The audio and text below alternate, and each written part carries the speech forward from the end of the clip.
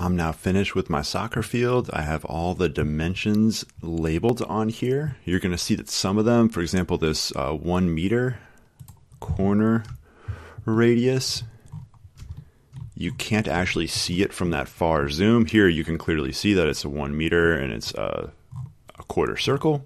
So some of these you can't see unless you zoom in. Don't worry, I will zoom in when I grade your projects.